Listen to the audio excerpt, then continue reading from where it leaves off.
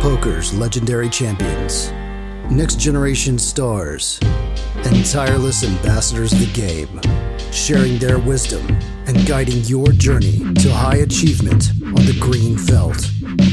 This is Tactical Tuesday on Chasing Poker Greatness with your hosts, Brad Wilson and Jon Chai. Welcome, welcome, welcome, my friend, to another episode of the Chasing Poker Greatness podcast.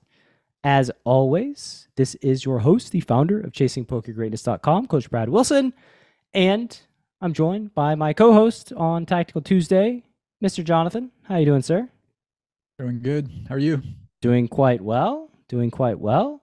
Just We haven't uh, addressed your background. This is the second week in a row. Yeah, yeah. So, you know, uh, we moved. I I moved in the past few weeks, and so I'm setting my office up, and actually have some plans for putting together a YouTube studio and upping the production value of Tactical Tuesday. If if you're listening on the podcast, we also have a YouTube version, and you know, don't don't go and look at it right now on YouTube because it's just not not as sexy as as it can be.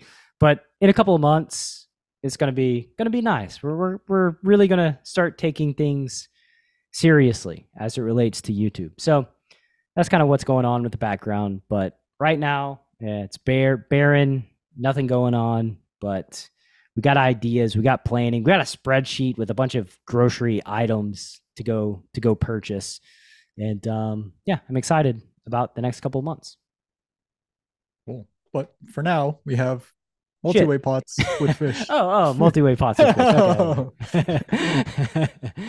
That's the theme today. Multi-way pots. That's the theme today. All yeah, yeah, yeah. Um. So, with that being said, uh, I guess we can hop into the action. I've said it before. You know, I actually this sort of language uh, of fish. You know, it's- does it ever make you feel like a little uncomfortable, like just calling people fish? Like, it, It's like too, they're too derogatory, but like recreational is like you know that's the that's the appropriate like is it i don't know like i've heard people say fun player right that seems like almost patronizing like yeah, that, that that's worse than fish. I it- think. it's got to be worse than fish right Yeah. like i think you know I, I have a course called fish in a barrel which yeah i, I like the name but I, I- I think that over time my my language is probably going to change. Uh, I mentioned it before, but to, to the white belt language of you know just somebody who's very new who hasn't really studied poker, right? Like just, I mean it. Some of the fish I play with though aren't, aren't particularly new. well, they haven't studied, they haven't learned, they haven't invested in in becoming their best self as a poker player, right? And there's nothing wrong with that inherently. I mean, some people like you don't care. If they don't care, you don't care, right? Like it's recreation, it's fun. So go for it. Um, but I think the reality is is like every single person who starts playing poker starts out as a fish. That's just the nature of it. That, that's just like we are born poker fish. And over time we progress, we become better, and then you know we're still fish in a bunch of different nodes in the game tree game tree because poker is such a big game um, but eventually you know we just get better and then we start consuming the fish um, and yeah so I, I think like there is this like negative sentiment towards the word fish but in my mind we all started out as fish and on in various streets and various parts of the game tree we're still fish. We, we still don't exactly know what to do and we're going to make blunders because we're unstudied.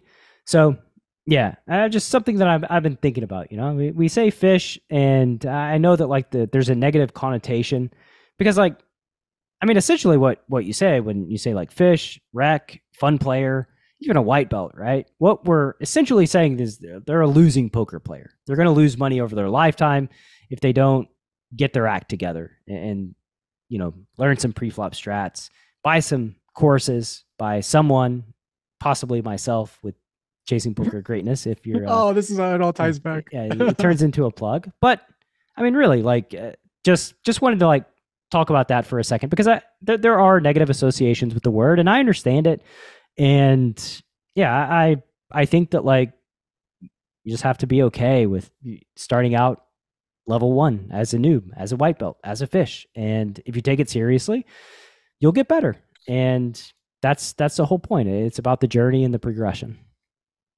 So with that said, we got uh, multi-way pots with a bunch of fish.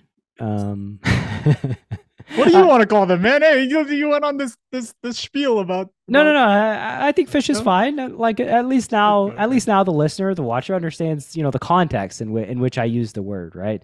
Like how I think of it. I I don't, I don't look at it as like a. I mean, I don't look at it as this like terrible, terrible thing, right? It, it's just a way to label them in language and so that everybody understands what's going on. Um, if you're listening, this is how you get invited into the good games, guys. well, I actually did have a moment of clarity because I, I, I, when you said what do you want to call them, like I, I almost said uh, effing idiots, um, just just because I thought it would be funny, and also I realized like I've had feedback, you know, that some people listen to the podcast in their car, like with their kids, and so trying to be a little cognizant of my language, but mm. for for you're welcome. If that's you and you're listening right now you're welcome. And also you missed out. You made everybody else miss out on one great joke. So hope you're proud of yourself. Um so break down the action. All right so we're playing uh 500 zoom. The button opens to $12.50 he's probably not the fish. The small blind calls the $12.50 we can already probably start labeling this guy as sure. as the fish. Yep. We have nines in the big blind, nine of clubs, nine of spades. Um, first question here, I think, is um, so facing just a, a standard button open and the small blind folds, this would be a uh, pure three bet for me. Does the fish getting in there in the small blind change that for you at all? Does that make you want to three bet more? Does that make you want to three bet less? Um, should we think about flatting more because uh, we you know we'd like to get post flop with the fish where they're likely to make some pretty big mistakes, or or should we just go ahead and and keep squeezing? What, what's a 75. very very good hand in this situation? Yeah, just seventy five, just squeeze. Like that's okay. I don't really have any other thoughts. You know, I think just like there's no the small blind doesn't really change my thoughts about three betting with nines. The hand is like way better than we need to three bet. Like, so it makes it into our three bet range. I don't think the small blind is like flatting with hands that dominate nines. So yeah, I just, it, it probably makes me want to squeeze a little bit more. Um, but I'm definitely squeezing. Okay. Yeah. You go 65. Button calls, small blind calls. So we have a three way. It's, it's a party, three way flop. Um, there's 195 in the middle. Jon's got 476, and everybody's got about the same. So SPR is around like two and a half. You get a f- interesting flop five, five, six, two hearts. Yeah. Small blind checks. We got 195 in the middle, about SPR two, a little bit more than two. I would say before this situation that in this in this just general configuration where I flat or sorry, I three bet pre-flop and get multiple callers that I check range. yeah. I got to this spot and I was like, I really don't want to check nines. yeah. This is like one of the hand. Well, this is like nines, tens, eights. You're like, hmm, I really yeah. don't want to just check and let four cards over realize. So you sounds like you sort of somewhat agree with that, or you don't, you know, like it's it's crazy to make like a, a kind of a strategic change for this specific portion of our range. I don't. I think betting makes a lot of sense here. Um, just with the, you know, with the small blind in the mix too, uh, I think that Button's probably going to be playing fairly face up and probably going to be tend to be more passive if you check to them with their like king queens, king jacks, ace ten, ace jack, uh, queen jack, jack 10 type of hands. So, I mean, yeah, I, I think that like you should just bet and kind of play it from there. Yep. okay. Thanks. Thank God. Um, so I do correctly, or at least in your eyes, correctly uh deviate from the normal plan, which would be to check my my entire range here. I stick out a third. Uh, what do you think about the size? I guess this is a situation that I'm rarely in because I'm checking range. Yeah. Um Size is fine. I, I think it's fine. I don't really, you know, I thought about going a little bit bigger Um, but I think the size is fine. Okay, so we go small, bet 63 into the 195, and the button does this. Makes it 216. hmm I wasn't expecting this to happen Yeah. ever. Uh, it just seems like a jam to me. Okay. I don't really know. Like, I I don't really expect it either. But like, I don't really think a five is doing this with the small blind still in play. Like, it just seems like so. It seems way more likely that they have some sort of flush draw or Yeah. straight Like draw. fives doesn't need to do anything extra to get the money in, right? Even even facing this tiny bet. So like Right. you know, they could just call, maybe the small blind raises or calls, like a lot of Yeah. you know, good downstream things can happen. So you don't think that this is gonna be a lot of trips or yeah. pocket sixes or like ace that. five or sixes, right? Like I, I just don't think they have a lot of incentive to raise here. And the hands that do have incentive to raise are flush draws and Mm-hmm. potentially straight draws. Yep. The small blind folds and we go ahead and stick the rest in Nice. um and get called. Uh, turn ace river 10, Who 1100 in the wins? Who do you think is gonna win this? Hopefully queen jack of hearts. Ooh, the eights. You didn't even have to sweat that many outs. Yeah, that's not a sweat at all. Um, well, don't know if our analysis that the button was not a fish was on point because that is quite quite the maneuver there. Just raise calling all in with eights.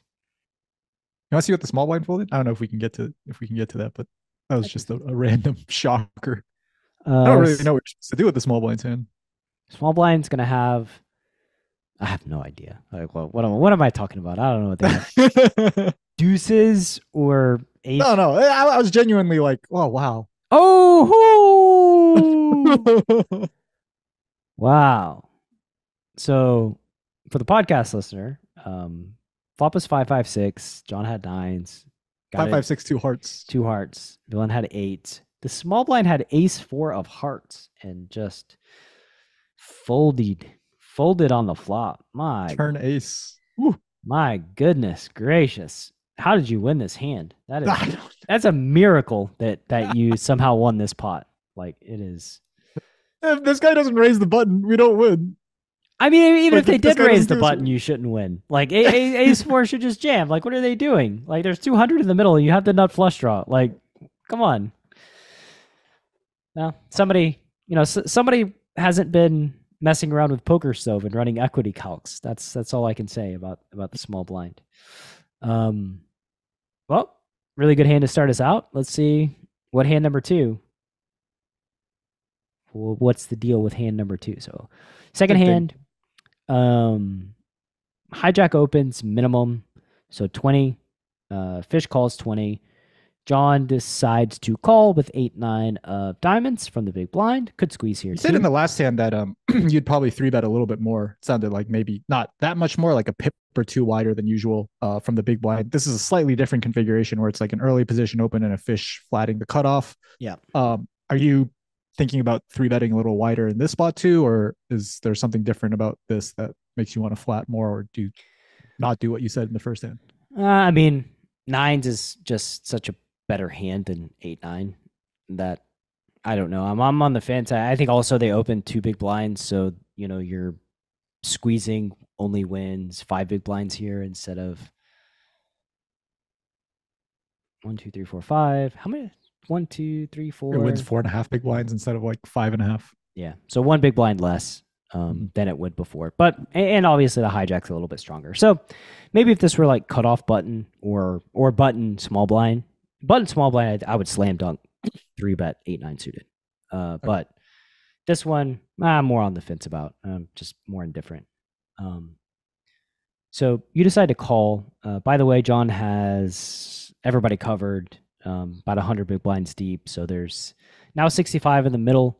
He has eight nine of diamonds. Flop is king eight nine rainbow. Um, I guess we'll start here. think we just have to start out with check on a Okay. king eye board facing a an open from from MP. MP is presumably the reg, and we're gonna assume that the cutoff is the the fish. He also started with an 80 big blind stack, so much more likely to be the fish. Yeah. Um, I agree. I just check here with my bottom two. Reg starts out with a one third pot C bet and gets raised Yeah. by the cutoff to seventy two dollars. Yeah. Yeah. yeah. Um, so first things first, I don't think the reg is just betting ranger multi-way, especially with like the the whalish player behind us, the the the fish. Yeah. Um, so I think this one third pot C bet is actually pretty meaningful. I fish could have every two pair combo, uh, probably pocket nines and pocket eights. I maybe more pocket kings than the normal player because sometimes fish just randomly do things pre-flop like trap kings. Um, I don't think that the fish has a bluff here. Like I don't think I'm not sure that he does this with like six seven or jack ten or queen ten, like those sorts of hands. I think that's do it with like king queen too. King yeah, jack, yeah. That's king that would be like a maybe like the bottom end of their Mhm. their raising ranges. maybe like ace queen. king. Yeah, ace king that doesn't three bet pre-flop. Yeah. which wouldn't you know again it's a fish, so maybe that happens. Um, if they have kings, ace they got aces too, right? Yeah, they could have aces. Yeah. Yeah. Um I think I would three bet. I don't like flatting. Um I think what you said is like really on point about the reg who so the the reg bet a third and then the fish raised three and a half X. Um I, I think that like the reg's gonna have a couple categories of hands. They're gonna have a king, and then they're also to have like Queen Jack and Jack 10 type hands, maybe 6 7 as well. And so like flatting just lets those those hands just play really really really well. Like I am concerned about the fish raising, but I don't want to let Jack 10 have like have the opportunity to just like realize equity or Queen Jack, right? Queen Jack of clubs. Like a hand like that just like they have a such a slam dunk easy call if we just flat that I think you have to three bet. Um, and then sizing is like an really interesting question because this is not a spot that comes at us every day. What do you? So I agree with the. I guess we'll start with the action part. I also agree with three bet. That's what I decided to do. Um, one of the things that I was planning on doing was three bet folding to a jam, especially if it came from the reg. Mhm. Do you agree with that, or are you at all concerned that like the reg could find a jam here with aces? And I don't think would so. would they? I Yeah, think okay. that's I think that's crazy. Aces. So you feel good about three bet folding if the reg I think so. it. I think Okay. the more likely hand that would be three bet that that would be like four bet jamming would be like Jack ten of clubs or spades or hearts, like just Yeah, a, yeah, yeah. so, some hand like that. Um, but yeah, I, I'm totally on board with with three bet folding. Uh, sizing, the fish jams. I don't know. Um, Okay. Say a prayer, flip a coin, spin around five times, and randomly click a button. Um, I, I- don't know, honestly. Uh, probably call, but that's that. Not love it. I Yeah, not not love it, but probably pro- probably just call and say whatever. Um, yeah. I thought the regs jamming range would be like relatively inelastic to size, like my three bet size Mhm. here. Um, so I just picked a smallish size and was planning on hopefully losing the minimum if I do get jammed on by the reg. That Sure. that was basically the extent of my sizing thought process. nice. So you went 180. So Could have gone even smaller, right? Probably just could have made it like 140, 150 and That's what I was thinking. I was wondering if like you should just click it, you know, just Yeah. like one one thirty five or something. Yeah, yeah, you, you yeah. went one eighty five. I, I think it's fine. Like I don't I don't I I don't really have much of an opinion on the size. I, I think like you could go too big, eh, but I don't think this is too big. Um. So you make it one eighty five. You have bottom two pair. The reg folds mercifully, and the fish folds. So everybody folds which all things considered, I guess there could have been worse outcomes than everybody got a little sad when you see what they had, but Wow. The fish folds ace king and the reg folds king queen.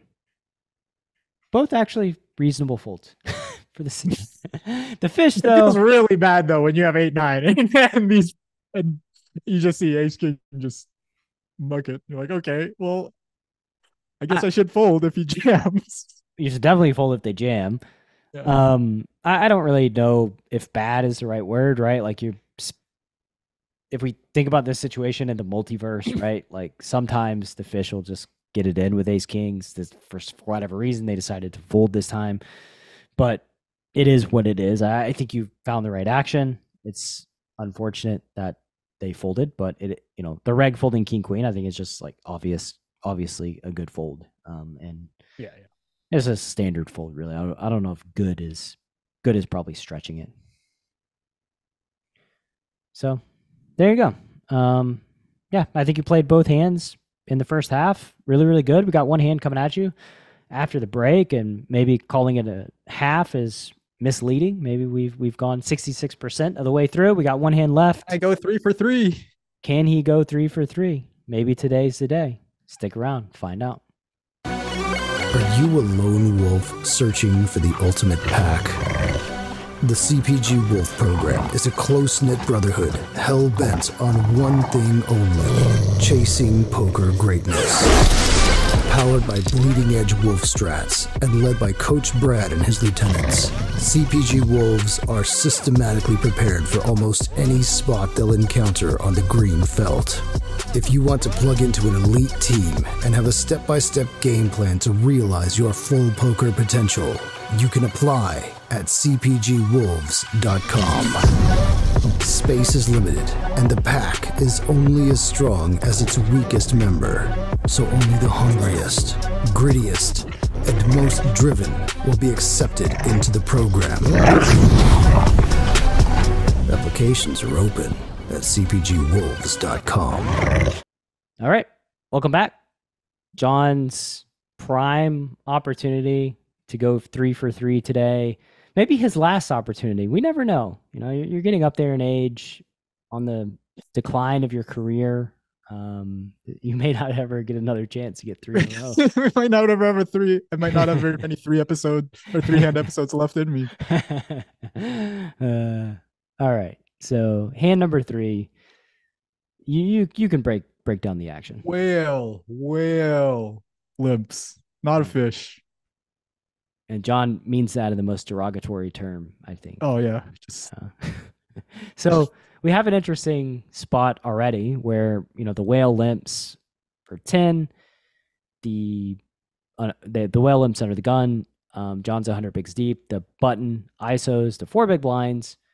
So forty dollars. Jon's in the small blind with a jack of spades. I would still three bet. To be honest with you, I I think like the whale is gonna call the three bet cold quite often. So I would just still three bet. Yeah. I think that would be like most of the time when I am like trying to decide, like you know, the last two hands I asked you, I was like, hey, would you three bet here? Would you like flat flat? Like most of the time, I'm not like seriously considering making a change. Like the nines, it's just always getting three bet. I know I I I asked Brad, and the eight nine suited is just always getting called. Um, this guy was so whaley that I I I agree. I would, I would just three bet there too. That I I actually just this was like one of the few times where I made the adjustment, and I was like, I'm just I need to make sure that we the three of us get in there. you made made sure.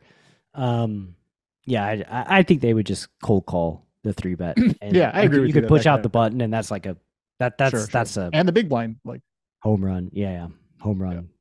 All right, so you call.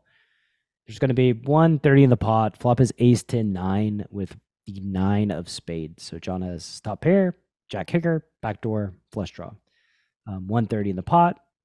You check. I think that's flop checks through. very obvious. Turn is a pretty good one. It is the ace of hearts. Um, there's 130 in the pot. I'll get your opinion before I give my opinion. Um, okay, so I guess the first thing that I just want to address is the button deciding to check back. Um, a little bit tough to know like how meaningful that is. There are, I think there's like one category of like reg that would just do a lot of checking back on this board and even check back some very strong hands like ace king and ace queen wouldn't wouldn't be like completely shocked.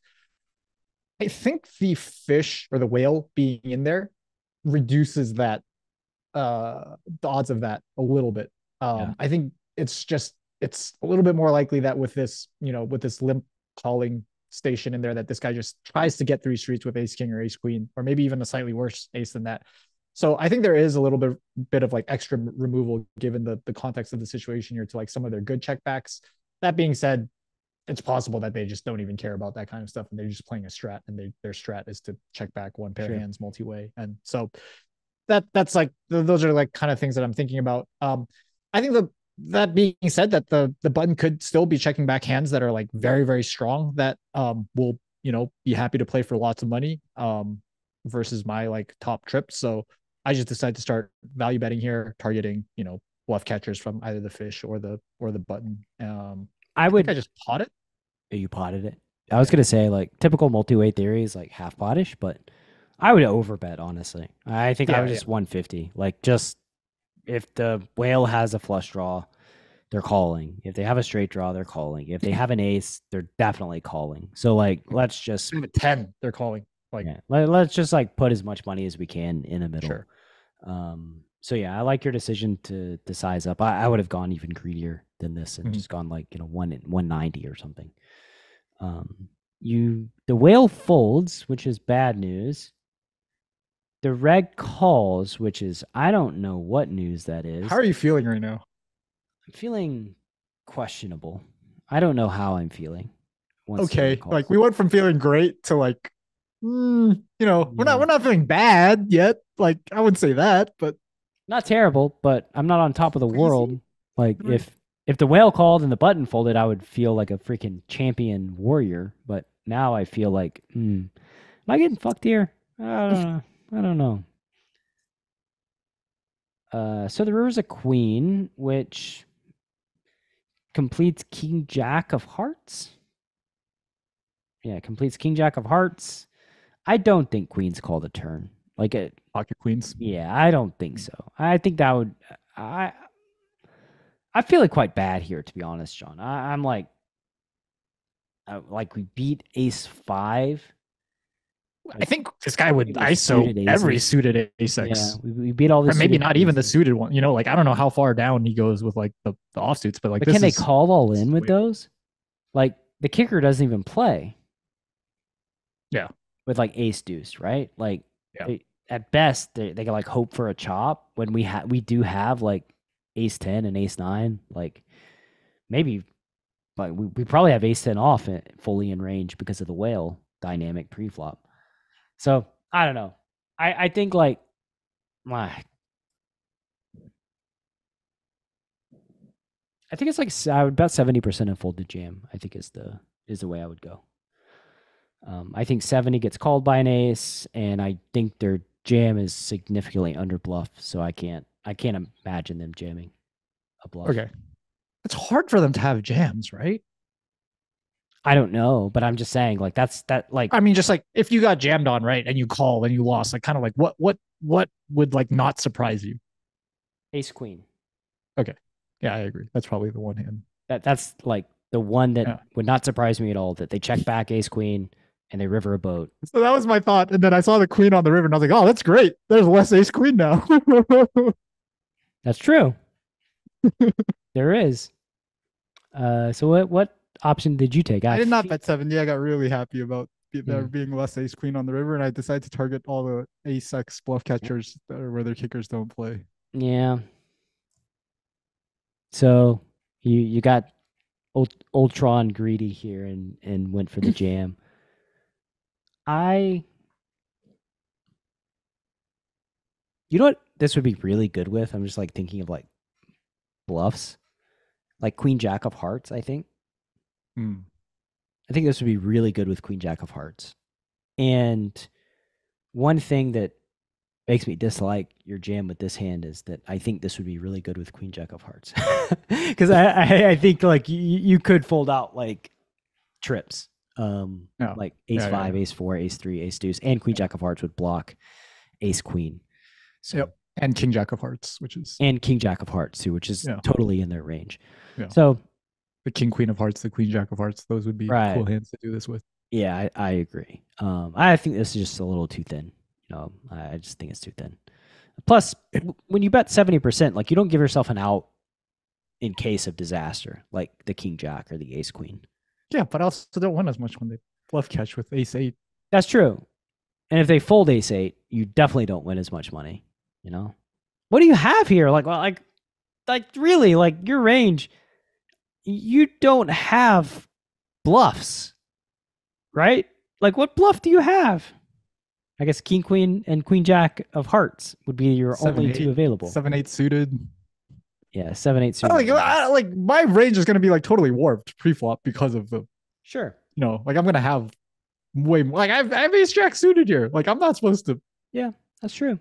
That means you have ace 10 and ace 9 and maybe ace queen too. Like it's not the most Yeah. you have ace jack suited, so you may have ace queen off, right? Like those hands are not totally different from each other. Mhm. Um yeah, I, I think I, I think you're gonna generate folds from ace X. And I think that's that's problematic with jamming here. So plus you don't give yourself an out if they do jam. And I think like putting yourself in Hmm. position in that scenario where they do jam that you can fold is like really really good. Yeah, yeah, yeah. I like that line now that now that I see it. I mean, ugh, I don't know if I'd like to think that I thought of that in game. I can't remember exactly, and then I that was just overridden by like you know sometimes they might call with ace five, so we Yeah. just have to. So you're just gonna stick it in. Yeah. The good news is we didn't generate folds uh, from ace X. The bad news is it's because he didn't have ace X. they have the ace queen. So ace, ace, 10, 9, queen. So well done. You we jammed 2x on the river. right smack into the stone cold nuts. So two out of three. Don't know if you're ever going to see this opportunity again. How does it make you feel to let this one slip through your grasp? I mean, one thing that makes me feel a little bit better is that had I threw that, I think the same, we probably just end up here anyways. Maybe we end up here sooner. I don't know. You know how in award shows they always ask the person like who they thank. Uh, so I'll ask you, like, who do you blame for this? who do you blame for for getting stacked here? The whale? Why did you make me bet so big on the turn, dude? Pot didn't have to be this large if it wasn't for you. I'd like to blame the whale, my parents, for instilling this notion of greed in me, capitalism. uh, so many things to blame. All right, I, I think it's. uh I, I don't think it's like the most obscene thing I've ever seen, but I do think seventy is superior personally. Um, 70 fold. Seventy fold, yeah, seems seems quite good. Try to do better next time. I mean, when you bet pot three ways with the whale, that's so. that makes Yeah, this guy's probably scared with ace queen, right? He's like, Yeah. I'm just, I'm gonna call pot and I'm gonna call the river and I'm not, it's gonna suck. yeah. like- he's he's scared, right? Like it's it's pretty transparent what you're doing. You you made yourself transparent because you didn't give a shit about what the whale thought, and then like the rag on the button, who's can obvi- obviously knows like, oh my god, like this dude is like pumping the pot, and If I don't hit a Uh, queen on the river, this is gonna be. He's gonna feel real bad, real Yeah. bad. Um, all right. Well, good try. Sorry about your loss, and I guess you'll you'll try to do better next time. See you next week. See you next week. Thanks for listening to Chasing Poker Greatness. You can subscribe on Apple Podcasts or on your favorite podcast app. Go to chasingpokergreatness.com to get the newsletter. Join the Greatness Village community, book a coaching session, or dive into the latest data driven poker courses. Follow the show on Twitter at CPG Podcast.